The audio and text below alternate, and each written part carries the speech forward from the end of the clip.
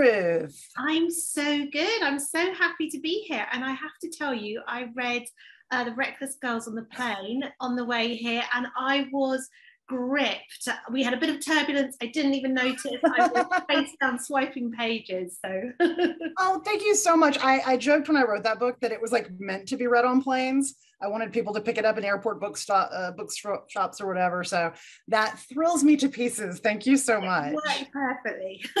well, excellent, excellent. And I am so excited to be here uh, talking with you today about the It Girl. As I have said on Twitter, I am genuinely a, a big fangirl. I have been since long before I started writing thrillers. So this is really a treat for me. And, uh, and I'm so happy to get to talk about this book in particular with people because I think people are going to absolutely lose their minds for it. So. so yes, for all of you joining us, I am Rachel Hawkins. I am the author of The Wife Upstairs and Reckless Girls here behind me. Um, and I also have another thriller coming out in January called The Villa. Uh, I also write paranormal rom coms under the name Erin Sterling. So I have a book out called The Ex Hex and another one called The Kiss Curse coming out in October. So I keep one foot in kissing land and one foot in murder land, which is, you know, perfect combination. balance, exactly. Um, and I'm delighted to be here today talking to Ruth Ware, who obviously, if you're here, you're a fan, so you probably already know, but I'm going to give you the, the pocket bio. So, Ruth Ware worked as a waitress, a bookseller, a teacher of English as a foreign language, and a press officer before settling down as a full time writer. She now lives with her family in Sussex on the south coast of England. She is the number one New York Times and Globe and Mail bestselling author of In a Dark, Dark Wood, The Woman in Cabin 10. That is my personal favorite, just throwing that out there uh, The Lying Game, The Death of Mrs. Westaway, The Turn of the Key, One by One, and the new one, The It Girl. And we are so happy to get to talk to you today, Ruth. Oh, I'm so happy to be here. Awesome. So now, where are you? Because you're on tour right now. I am book, on tour. So. Yeah. So I'm currently in a hotel room uh, in Cleveland, which it turns out is a beautiful city. I've never so been before.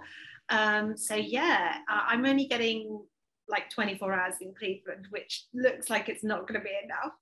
So, but hopefully I'll be back. So, but I'm so happy that we could do this virtually because I just think one of the, you know, not much good came out of the pandemic, but one of the things that was nice was that virtual events really took off and people who are not able to get to bookstores for whatever reason are able to see authors speak so i'm really happy that you know we could we could do this yeah, same. I've I've really been. I, had that exact same thought where at first I was like, oh, I really miss getting out there and and seeing readers face to face, and I still do. Um, but at the same time, yeah, it was just the coolest thing to be able to do stuff like this, where it just it's so much more accessible to so many more people, and I just think that's such a cool thing. So yeah, I'm really glad. Both worlds going forward. Yeah, yeah, it's nice that they're not just like ditching this kind of thing now that we kind of can get out in the world again. So um, and it's nice to be catching you at the early end of book tour because I know that towards the end of drawn and exhausted. before you've reached the like crying into room service Chardonnay part of book tour, is that just me? Maybe that's just my vibe. I don't know. Looking no, at pictures of my kid. Very much universal. So no, I'm still at the fresh face. This is so exciting stage. right, right, which is excellent. Well, so for those of you who are joining us, uh, just you know, I used to be a teacher as well, so I'm like, let me set expectations. Let me give the rundown. Uh, Ruth and I are going to chat a little bit. I have some questions for her and and talk about the book and then we're going to move to audience questions. Some were submitted beforehand and then also we'll have the q&a so if you have a question want to drop it in there um, i will try to get to some of those as well. So as we get started ruth i think the first thing is tell us about the book. Tell us about the it girl. Well so because this is one of the first events I've done, I'm still kind of perfecting my my pitch. So you're going to get the rough version. Um, so uh, the main character is Hannah, um, and she is living this fairly idyllic life in Edinburgh. Um, she works in this cute little bookstore called Tall Tales, um, and she's married to her college sweetheart, Will. They're expecting a baby. Um, but Hannah's tranquil existence is rocked when um, she gets a phone call from her mum, and it's to let her know that this guy, John Neville, has died in prison. And what we find out is that 10 years earlier, when Hannah was at Oxford University, her roommate April was brutally murdered, strangled to death. Um, and John Neville, who was the college porter, was convicted mainly on Hannah's evidence. Um, so Neville has been in prison for the past 10 years and now he's dead. And it should be this moment of kind of relief and catharsis for Hannah. You know, a really painful chapter of her life is over. She can look forward to the baby that's coming with her husband. But actually, what it does is force her to admit that she has been nursing some doubts over the past 10 years, doubts that she hasn't really allowed herself to, to, to kind of voice aloud. Um, and that actually she was never completely happy with Neville's conviction. And when a journalist pops up asking some pretty awkward questions, she's forced to admit that perhaps she made a mistake all those years ago, which means that um, A, she owes it to Neville to find out justice for him, but B, if he wasn't the killer, then someone else was, and they're probably still out there. So that's that's the kind of that's the, the opening chapter of the book. Hannah. Well done. No, that's a 10 year old pitch. That was so good, Ruth. like, and that is like, um, you know, it is definitely one of those books. And I mean, that's a lot of your books, all of your books for me. They, they kind of come in with like that hook immediately. And I think like this one is so good at that. Like, you know, you're just immediately like, okay, I need to know everything that happened and some of my books know. definitely take a while to work up to the murder but this is not one of them right this like, is your like your right page from page one like, you know what's happened. Now you mentioned that um, you know hannah's living in edinburgh that she went to the university of oxford. Um, edinburgh is one of my favorite cities on the planet. I've i've been there six times i think. I'm going back in december. I just can't get enough of it um, so why Edinburgh for you? Like, is that and Oxford as well? Are those places that you have like a special connection to? I think Oxford came first. Um, I knew that I wanted to set the novel at a university, um, and Oxford. I don't know how much people listening know about Oxford, but it has this very particular structure that it shares with Cambridge, which are the two oldest universities um, in the UK um, which is that they are, Oxford University is the overarching university, but the institution that students actually attend is their college. So you apply to the college. And the college is a pretty closed system. So you have uh, tutorials in your college, you live in your college, you eat in your college. The tutors belong to the college, and some of them live there, not so much these days, but um, when the book set, that some of them were still in residence um, and you're you're friends with people within college. So and the colleges are small. Like Magdalen College um, only has about 300 undergraduates, so you really can know everybody in your college, particularly everybody in your year. Um, so it's a great kind of atmosphere to set um, a mystery because it is it's not quite closed room because 300 people is still a lot of people but you know the, these are kind of these are walled institutions with a gate that is physically patrolled from about nine o'clock at night. So the, there's definitely kind of fun things that you can do in terms of you know who got in who got out who's got an alibi. Um, and a lot of the book is about um, like class and how people interact and Oxford being a very elite institution, but one that is wrestling with trying to become more inclusive and more diverse. Um, that was just all an interesting kind of undercurrent to the book. So Oxford started off as, as the place where um, Hannah and April were always going to go to university. And then I suppose I just thought about it from Hannah's point of view, like this terrible thing has happened to her. Um, she's being doorstepped by the press. She's been horribly entangled in the justice system, which has been this really hideously stressful experience. What would I do in her shoes? And I thought if I were Hannah, I would try to get away. Right. And uh, Edinburgh is about as far from Oxford as you can get. Not quite, because there's still quite a lot of Scotland north of that, but you know, Scotland is a separate country. It has its own legal system, it has its own police system. It has a largely separate press still. They have Scottish versions of most newspapers, but they're staffed separately and they cover different news. Um, and I just thought that if I were Hannah, that would be where I would go. It would be pretty much as far away as I could get without actually leaving the UK. Yeah. Um, and like you, I love Edinburgh. It's one of my favorite cities. It's beautiful, it's really atmospheric. Um, and I think something common to all of my books is that when I sit down and decide where to set them, I think about the fact that this is a place that I've got to spend a year in my imagination. Right, right. I wouldn't mind spending a year in Edinburgh, quite frankly. It's a beautiful city. So that was a big part of it. yeah exactly. I realized that like it was really during pandemic like when i wrote the wife upstairs that's set in birmingham alabama. I live in auburn alabama so i'm about two hours south of there.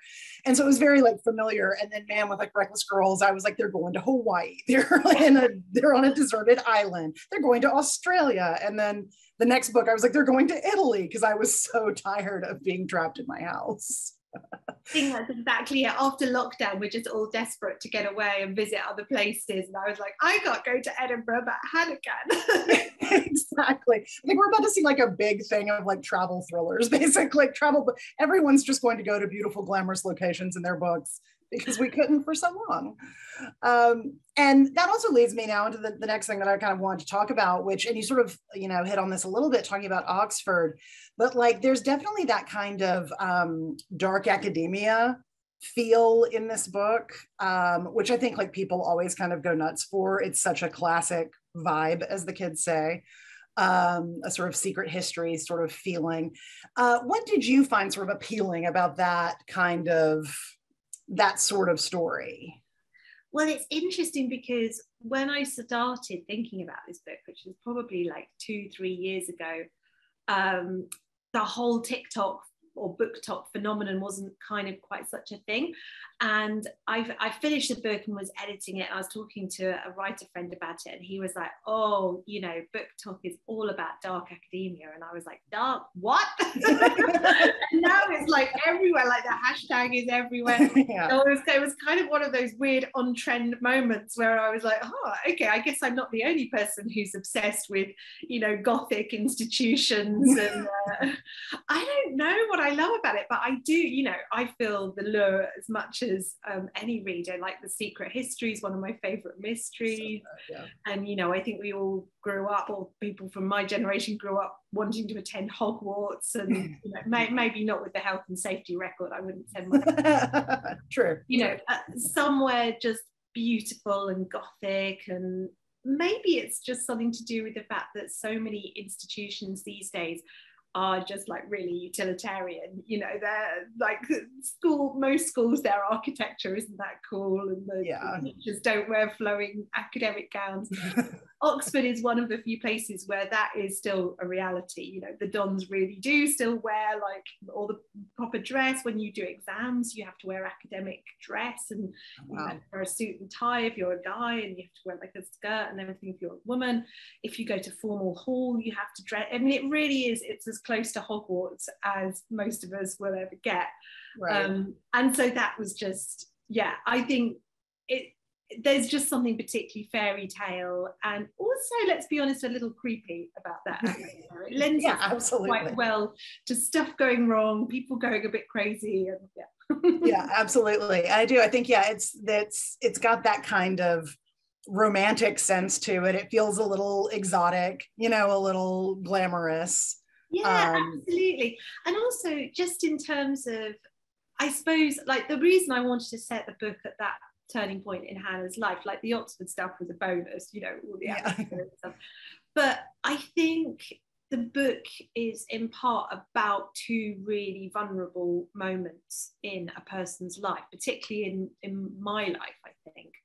You know, the two p- points in my life where I really felt like I was sort of changing in a kind of butterfly chrysalis sort of way was leaving home to go to university um, and becoming a mum and when I was in my mm-hmm. um, late 20s, early 30s. And that's that's the two points that Hannah is at in the book. She's she's leaving home, she's spreading her wings, she's becoming independent.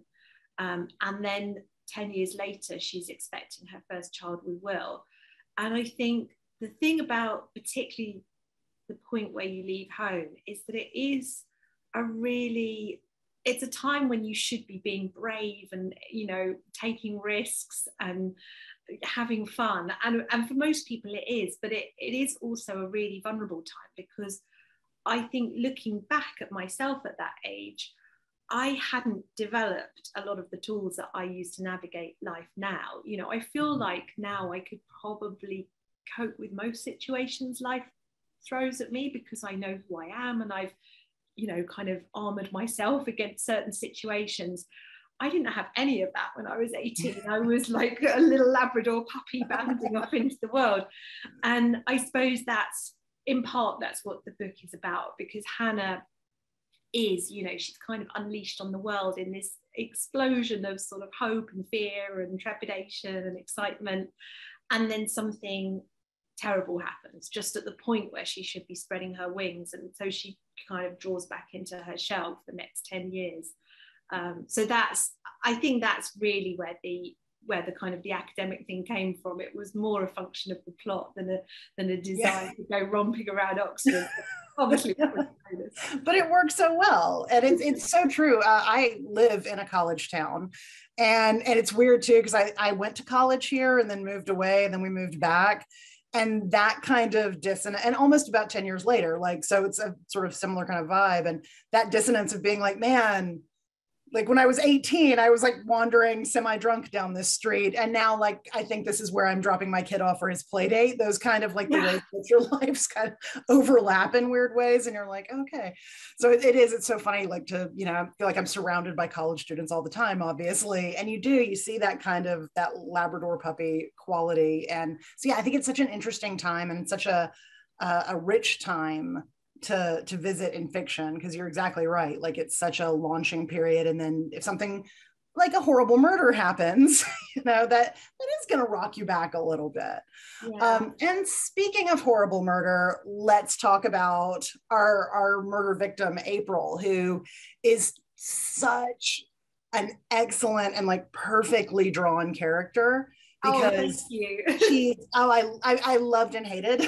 um, she's she's glamorous and she's interesting, but like she can also be you know really cruel or you know and so can you talk a little bit about creating the, the sort of woman april is who's also like too a very young woman which you know is a thing i think to keep in mind yeah well i suppose part of what i was sort of nibbling around when i wrote the book was how we treat victims in the press. The press and the media and social media is quite a theme throughout the book. Mm-hmm. And I'm fascinated by the way when something bad happens to someone, we want to box them up in certain ways. And particularly when we're talking about victims, we either tend to treat them as completely perfect, you know, they were academically excellent. They were, had wonderful friends. You know, they're these sort of angelic creatures who were taken from us too soon, or they're the cautionary tale. You know, the girl who went somewhere that she shouldn't, or was wearing something that she shouldn't, or was doing something that she shouldn't. Um, and when they don't fit those narratives, when people don't fit the narratives that we've assigned them, we get quite uncomfortable and sometimes quite hostile and angry. Um, and I very much wanted, I've always inspired by classic crime and you know i love it as a genre it's one of my comfort reads. But i think that the, one of the things that makes me slightly uncomfortable with it is sometimes the way it treats the victims of its stories. You know there can be this feeling that the murder victim is this sort of slightly disposable cardboard cutout who's simply killed off in order to set the story in motion and let the detective do its thing. Mm-hmm.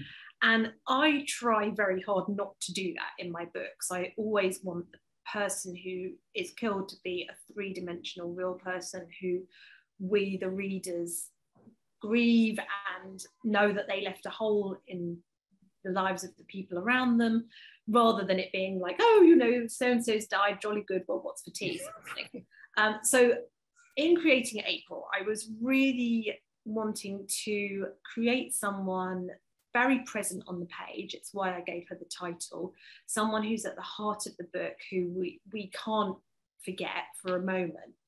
Um, but also someone who it's very difficult to categorize. You know, she is, as you you know, you summed her up really well. She's beautiful, she's glamorous, she's really fun. She's loving to Hannah. In many ways, she's a really great friend. She's loyal, she's creative, she's clever, she's interesting. But she's also really cruel sometimes. She's very dismissive. She's someone who doesn't have a lot of care for herself or for other people. She takes risks with her own safety, but also with her friends. Um, she's just generally a very complicated person who it's difficult to um, to box up as as a victim in any of the ways that we sort of traditionally think about victims. Um, so I suppose that's what I was going for, and that's why I tried at any rate to make her a really complicated three-dimensional person in the way that many of the people who I love as friends are complicated and three-dimensional and mm-hmm. and not always you know easy to be with but sometimes that's what you know you find most interesting about them. Exactly. And i think that that like again that vein of like female friendship is so like I've, I've realized that it's something that i keep coming back to in my books. It's in the wife upstairs. It's in reckless girls. It's a huge part of the villa where and i was like i guess i'm just never going to be done talking about like you know the ways in which and, and i think it's because I, I also like to fill my life with like cool and interesting women and stuff. And for the most part i've been extremely lucky and none of them are are quite what some of the characters I don't have an April, like really, like maybe maybe a few years ago. Um, but yeah, I just I think it is. I think it's like endlessly interesting, and I think that it's so relatable and yet so specific at the same time. Which you know, those relationships always feel extremely um, lived in in your books as well. Like like you said, I think that you do such a great job of making them these really three dimensional people that like it's you know they're not just like cogs in a plot which sometimes i think that's exactly that's exactly it. That's what i'm trying yeah. to avoid. And you know as you say we've all got an april maybe not as extreme as april is right yeah. most of us have encountered someone who we're simultaneously really drawn to but also really exasperated by and someone who we kind of recognize is good for us in a way because you know April embodies many of the qualities that Hannah doesn't have. You know, Hannah, right? Yeah, she's really loyal. She wants to do the right thing. She's super reliable. She's like, you know, she's basically all the kind of um, you know, she's the friend that you would want to have, but she's not spontaneous and fun and risk taking. And, and that's partly why she's drawn to April because April has all of those qualities that she admires and maybe needs but she also recognizes that April is certainly not um, good for her in every every sense. And I, I, think that's you know that's definitely something that I have experienced but I think a lot of people have experienced maybe particularly women right. you can have a friend who you simultaneously love and also know doesn't you a better person. Exactly. We've all been there. We've all been there. Um, and before I turn it over to like reader questions I also that you know leads into talking about you know you mentioned that like you didn't want april to just be this cardboard victim um, and that it is weird the way that we talk about victims both in fictional murders and in real ones. And there's definitely um, a lot of talk like true crime right now with thrillers in the world in general. It's a part of this book this idea of like true crime podcasts and people sort of being obsessed with like you know the the what did they call it? Like the missing white women syndrome you know where like certain victims get more attention than others.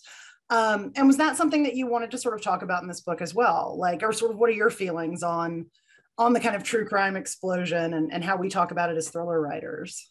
I i mean it's fascinating. I was i suppose it's not addressed in the book in that I don't talk about it, but I am sort of talking around it. And mm. certainly, I think, you know, like lots of people over lockdown, I got really into podcasts, partly because it was the, you know, it was a form of um, something interesting that I could consume while also homeschooling my kids and cooking meals yeah. and, you know, doing all the thousand and one things that I suddenly didn't, you know, had to cram into my day.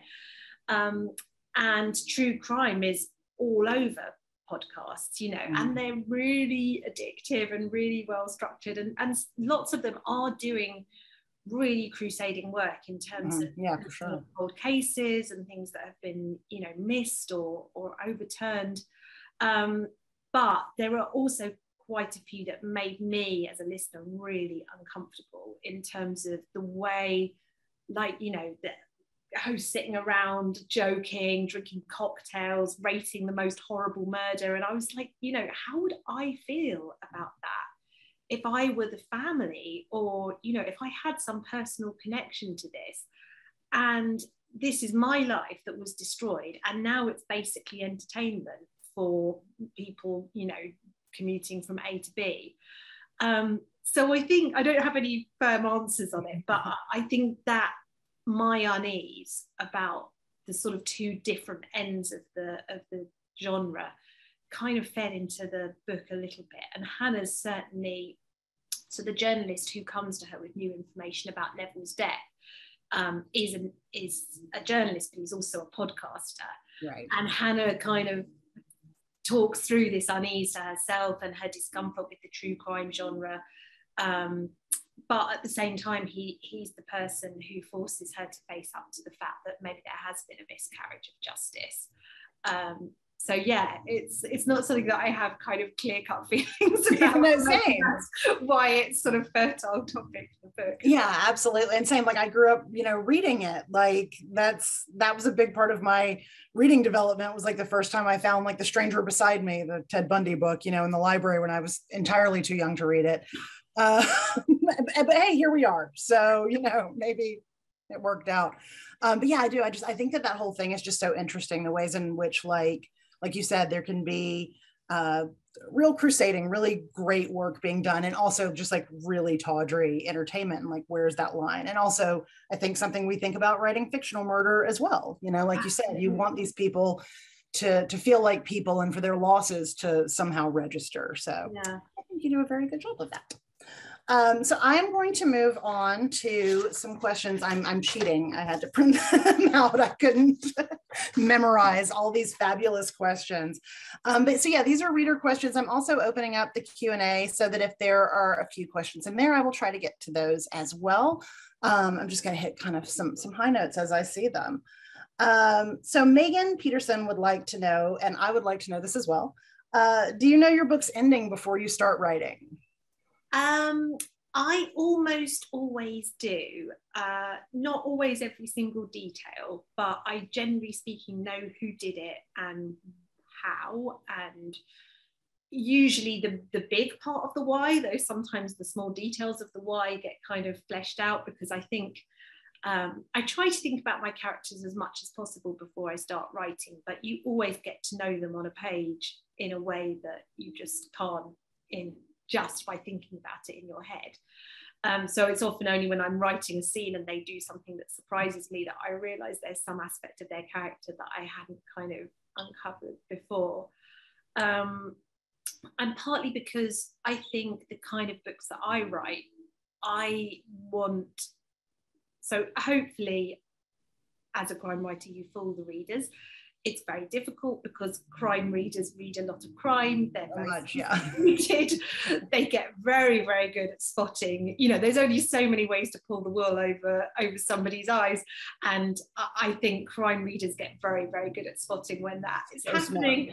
Smart. So I hope that I fool some of the people some of the time. I'm fully aware that I'm not going to fool all of the people all of the time.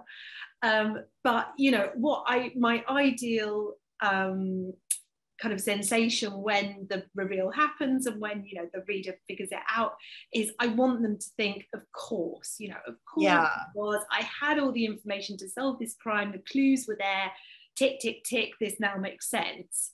Um, I don't ever want the reader to feel completely blindsided and cheated and feel like, well, huh, you know, she never mentioned that kind of right, right. So I and and for, for me to sow those seeds and drop those breadcrumbs, I have to know the solution to the mystery. Um, mm. Otherwise, I can't. Uh, you know, I can't do it for other people. But I'm always um, endlessly impressed and delighted by how it's different for every writer. So now I want to know: do you, how do you, do you your sort of more psychological thriller books? Do you figure it out beforehand, or? Yeah, it's funny. It's every time I think I figured it out. Um, you know, I wrote uh, YA novels for years. Uh, and so when I transitioned to thrillers, I started. I I had never really been an outliner, but thriller writing made me an outliner because it was that same thing where I wanted to, I always say that like I like my reader to be a step at least, maybe a couple of steps ahead of the characters. And I'm trying to stay a step or so ahead of the reader. So yeah, I like you, I kind of need to know where those breadcrumbs go.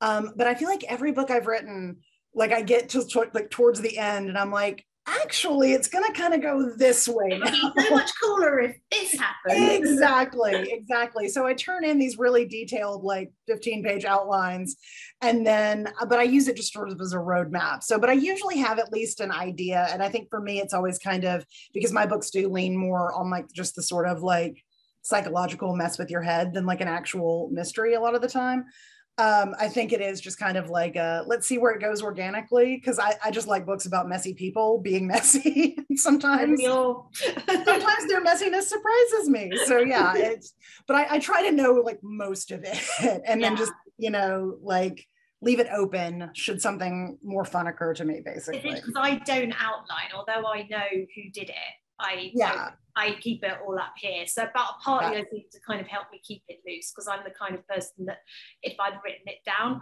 I wouldn't be able to use it as a roadmap. I would be like, no, but the plan says I have to stick to it. So right. by not writing it down, I sort of give myself enough room to maneuver.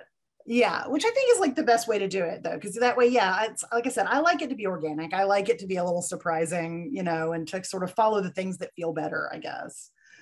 Let's see. Oh, this is a really interesting question.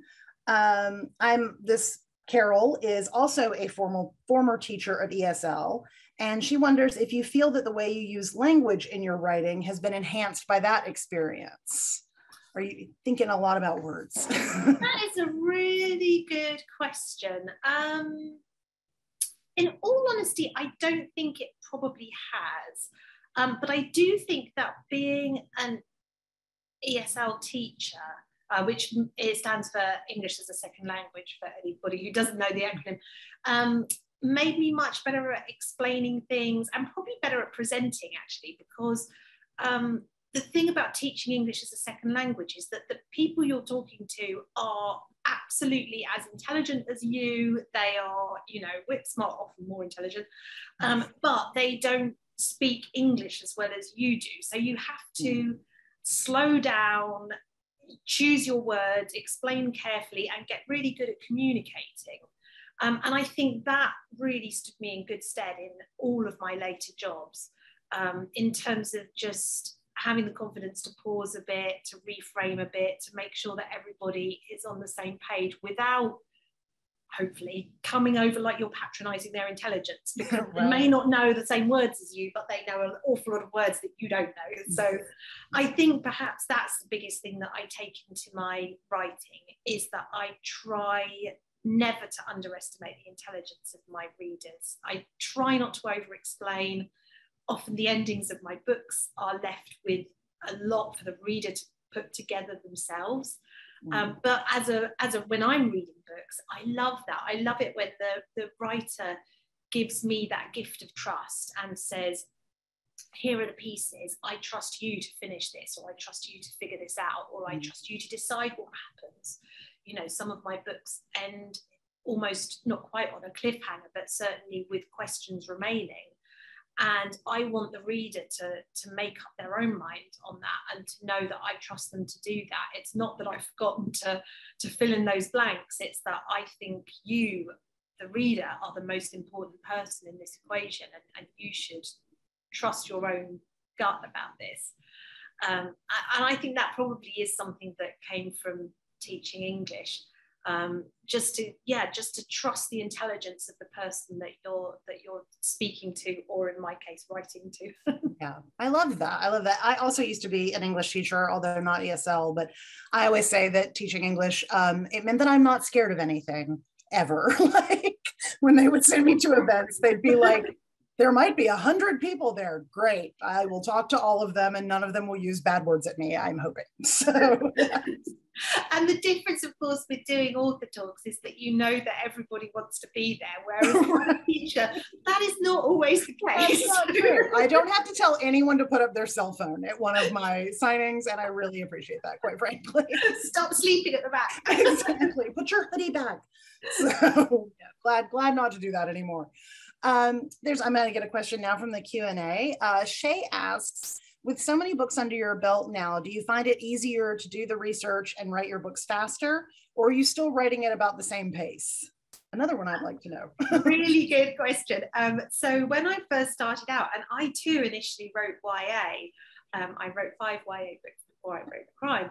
Um, I was writing about a book a year, and I had um, really small kids. Um, my kids were, um, I mean, toddlers when I started writing.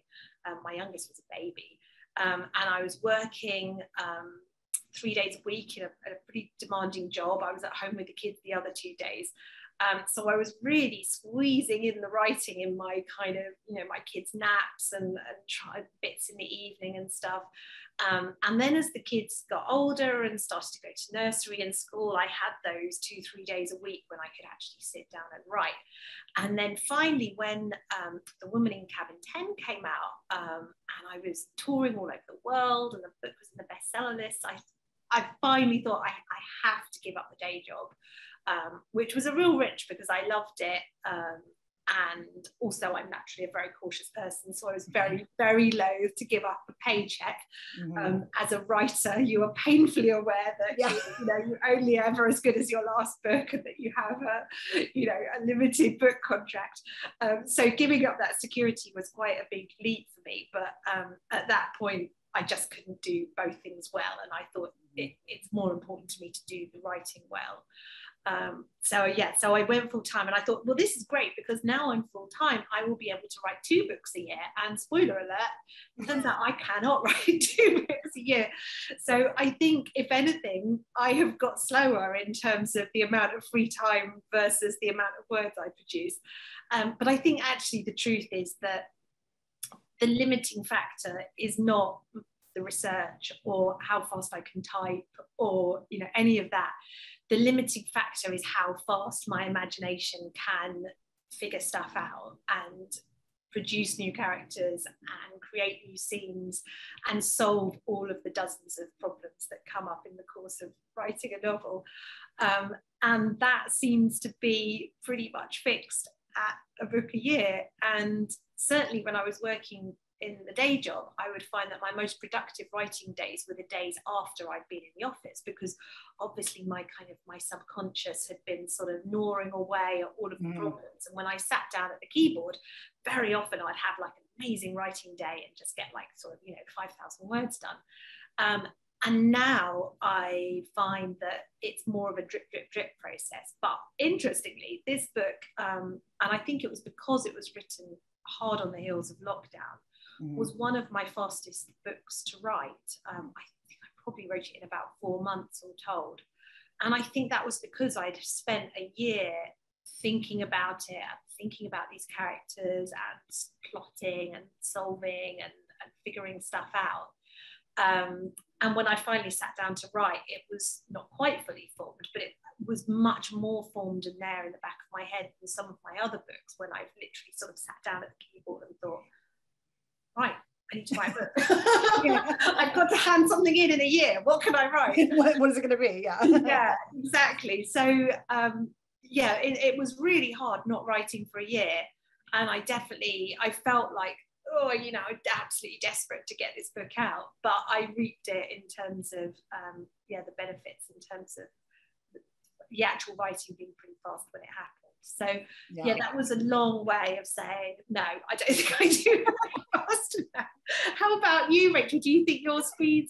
no, my speed is exactly what it's been like because it's the same thing now. I do two books a year now because I've got the other career as a romance novelist. Um, but that is not easier, been like writing two different things. Yeah, it's because they're so different. It it's not as hard as I thought it would be. If I had to, I could not write two thrillers a year because it's that same thing. Like um, yeah, my friends and I always talk about it is the book needs cooking time. And so it may only take me like, you know, yeah, three or four months to write, but it's been cooking sometimes for two to three years before I've sat down to actually do it. And so I need that cooking time so much. And I just, you know, I wouldn't have there's like no way that I could do two thrillers a year. I think I would lose my mind. Uh, and, and, I don't think I could do two romances a year either, even though there's a million romance novelists who do like 12 books a year and they're all great. So kind of uses um, the same muscles almost. Yeah, yeah. So it's just, it's very nice to kind of have a, a break from one type of book. I, I try not to ever have to like draft or edit them at the same time. Though I try to be like, right now it's thrillers time. And then now it's romances time and so far the scheduling has worked out fairly well on that so, so, yeah. Might be taking tips here. Should i yeah. come write romance with me ruth. It's really fun. I'm having a great time. Like i said kissing and murder you can't go wrong. It's like a one woman game of kiss marry kill only exactly. Exactly. Every day.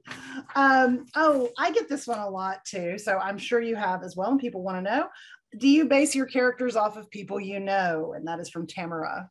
I do not, uh, partly because I value my friends. I think if I started to put them in books, I would quickly find I had no friends at all. Um, I suppose, you know, I do very occasionally borrow like very specific traits or words off you know, or like turns of phrase or something off people. But I would never take a, a real person from real life and kind of plonk them wholesale in my books. Probably the person that I base most of my characters off is me, uh, which is not to say that any of my books are autobiographical. Um, but I always, when I talk about creating character, I think I talk about it in terms of like it's a bit like sort of creating a kind of Frankenstein's monster. You know, you take a bit from here and a bit from there, and a bit from that weird couple that you saw in the supermarket acting really strange, and a bit from that old friend that you knew in you know grade school who like had this particular habit, and you stitch them all together. But the thing that makes it the thing that makes that character come alive is a little bit you and there's a hmm. little bit of me in all of my characters even the most horrible ones. In fact it's probably more in those. They get to say and do all the things that i would like to say. Exactly. The, the id unleashed as it were. Um, lori would like to know have you ever thought about writing a sequel to any of your books? Um, I would love to write a sequel in some ways because I think the great challenge of writing standalones is that you have to reinvent the wheel every single time and you have to come up with a whole new cast of characters and a whole new setting and a whole new feel and a whole new narrative voice. And that starts to feel tough after a while. Um, so I would love to return to some of my old characters and revisit them and, you know, find out what's happening to them because I do think about them. I worry about them and wonder how they're getting along and you know whether their marriage is worked out and if they're you know still drinking and all this kind of stuff. Um, so it'd be nice to go back and find out. Although as a crime novelist, the answer would probably be very bad in every single thing. Um, but I think the problem that I always have is that all of my characters so far anyway are pretty much just regular people and the age of the sort of amateur detective is pretty much over. You know, we can't have Miss Marple rocking up to crime scenes with her knitting needles and being allowed to shed DNA all over the body and stuff. So it just modern policing makes it very difficult to come up with a plausible way why a regular character could be involved in multiple murders. Um, so unless I came up with some inside the plot reason why the, another terrible thing should happen to this ordinary person. It's quite difficult to justify you know another bombshell falling in the lap of just a regular person. I feel like one is plausible. Clearly terrible things happen to people out of the blue all of the time. Yeah. But for it to happen again and again is tricky. Uh, so yeah, that is what has stopped me so far. But I'm writing a character now. I won't talk about too much because the book is still quite ugly duckling. could be the first character who would have a professional reason to get re-involved in a crime. so yeah, watch this space, as they say. Interesting. That's why I always thought the um, the Dublin Murder Squad books, the Tana French, are so genius because it's the same like characters, but it's different police detectives in each book. So you're like, yes, each police detective can have the case of a lifetime. Yes. But you know, so I was like, oh, that is so smart. She's so smart. But yeah, same. Like I just, although I have started sneaking, like I snuck a character from Reckless Girls into the background of the villa and like oh, you might not know like if you haven't read reckless girls or you, you might have read it and not even recognize it yeah that's a nice little easter egg for your reading easter egg. so and i've got a little reference to the villa in the one i'm writing right now so i was like that may be how i'm gonna scratch my itch exactly. The rachel hawkins multiverse. We are actually almost running out of time because we've been having so much fun. So I am going to pick one more question off the Q&A and one more of the pre-selected, and, and then we'll start kind of wrapping up. Let's see. Um, oh, okay, this is a good one. Um, from, let's see, there it is. Okay. Do you always know beforehand who you're going to make the villain in your novels? Um, or does it happen more organically when you're in the writing process? Um, so I, yeah, I generally always know who did it, but the problem that I always have um, is that I, I don't think I'm very good at writing villains in the sense that I always feel very sympathetic to all of my characters, even the ones that I'm trying to make villainous. Um, and so often my villains start out in my head as being really horrible people. Um, and then I sort of find myself making excuses for them and kind of you know, but they did it because of this and they're actually this. And um, so that is always my challenge. I always know who the who, who the bad guy is, but sort of steeling myself to make them sufficiently bad is I think one of my problems as a writer. That's what no, it's that's what makes your book so good though, is because it's exactly that. It's like they're full formed people, you know, and like I said, they're not just, you know, and here I am to do the murder and be the bad guy. like they, you know, I can't see myself ever writing like, you know, Hannibal Lecter, but I would yeah. quite like to write not Tom Ripley, but you know, someone of that ilk. And I'm not sure I'll ever quite manage to be uh, sort of stern enough to, to write an anti-hero as horrible as Ripley. I love, gosh, I love that book. I love that character. I, that's one of those where I'm like, I'm sick. I did not write that. You know, 50, 60 years ago that I didn't exist to write. Yeah, we didn't get there first back in like Damn it. Stupid no time travel existing.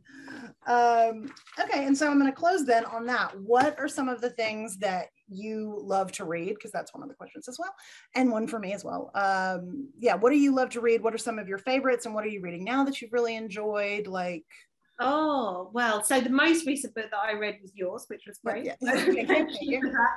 Um, I do read a lot of crime, um, partly because one of the nice things about being a writer is you get sent a lot of books to blurb, um, which is uh, both great and a curse because my sort of t- pile of obligation is sort of, well, it's not even one pile, it's about eight piles of obligation. Um, so I do always have that slight feeling of I should be reading crime because I promised that I will read crime. Uh, yeah. All these people that I will read it, um, uh, but um, but I haven't. Um, but when I'm reading non-crime, I have very um, Catholic tastes. You know, it could be fantasy, it could be historical fiction. I love reading Patrick O'Brian. He's like mm-hmm. my, you know, the Napoleonic Wars guy because it's just so different from anything that I write. Um, and I love romance too. I really, um, I loved Seven Days in June. That was oh, so good. So good about the publishing industry. That was awesome. Yeah, yeah. Um, and uh, yeah, historical romance. There's a writer called Katie Moran who I really enjoy. Mm-hmm. Uh, so yeah, just anything basically. just point me at a pile of books and I'll go. no, I'm the same. And I also I love historical fiction like that. I never ever would want to write in a million years. Like give me like a 900 page paperback like set in like 1283 and heaven. Yeah it's like heaven. such a kind of total change from what you write. It's like a holiday. Exactly exactly. Well thank you so much for being here today. And everybody who's watching if you ordered a signed book from barnes and noble it will be to you in eight to ten business days. And if you didn't order a signed book you can still get one at uh, bnn.com or your local barnes and noble um, and go pick up the It Girl because oh my gosh, it's so good. Like if this conversation did not, you know, let you know how good this book is, let me just reiterate, it is so much fun. You want to put it in your summer bag right this second. And again, Ruth, this was such a thrill for me because I really, I've been such a fan. So I've had so much fun talking to you. Oh, thank you for great questions and great questions from the audience. yes, well. I was... feel like everybody gave me a workout today. So. Like this was like some deep thinking. People were really, you know, which is amazing. Like, like I said, the crime readers are so smart. So it's crazy how smart they are. Well, thank you. Thank you so much, everybody, for coming. And thank you, Rachel, for the awesome interview questions. Well, oh, thank you so much, Ruth. This was so much fun and happy release week and safe travels. All right. Bye, everybody. Thank bye. you.